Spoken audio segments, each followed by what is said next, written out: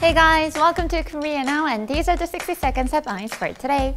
South Korea's Military Manpower Administration is pushing to allow pop celebrities to delay their mandatory military service if there is a recommendation from the culture minister. The plan came amid talk of whether K-pop star BTS should be given such favor for contributing to the country's national image.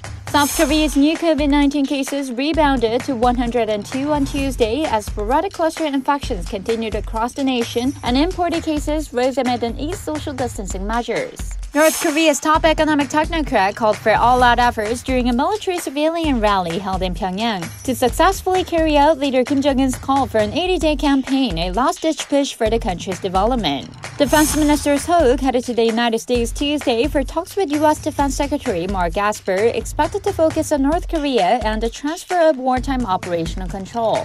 South Korea's number two shipbuilder, Daewoo Shipbuilding, signed 2 trillion won worth of deals to build six LNG carriers for two European companies.